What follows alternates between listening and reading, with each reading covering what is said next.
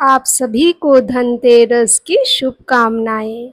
आइए जाने धनतेरस पर ईश्वरीय रहस्य।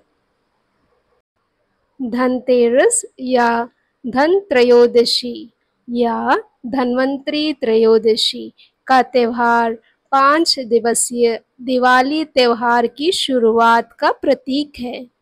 भारत में सबसे महत्वपूर्ण त्योहारों में से एक दिवाली की तैयारियाँ अपने चरम पर हैं।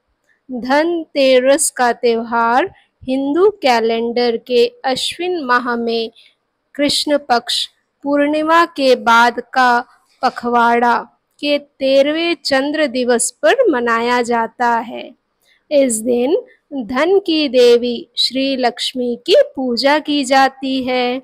यह घर में समृद्धि, सफलता आदि सुनिश्चित करने के लिए है। इस दिन धातु, बर्तन, आभूषण आदि की खरीदारी शुभ मानी जाती है। धनतेरस दिवाली के दो दिन पहले मनाया जाता है। कहा जाता है कि समुद्र मंथन के समय भगवान धन्वंतरी और माँ लक्ष्मी का जन्म हुआ था।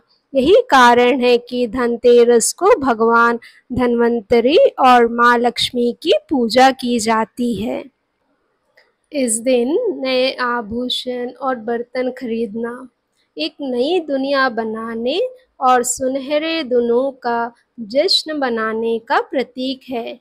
असली धनतेरस है स्वयं को 24 कैरेट सोने जैसा बनाना।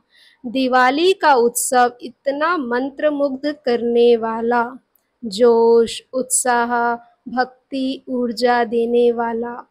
पकवान, उपहार, नए कपड़े, कितने धनतेरस, सुख और समृद्धि का प्रतीक। आइए श्री लक्ष्मी की तरह बने। सभी विषमताओं को दूर करे। असली धन वह ज्ञान है जो उनके पास है। वह आशीर्वाद देती हैं। जय श्री लक्ष्मी माँ।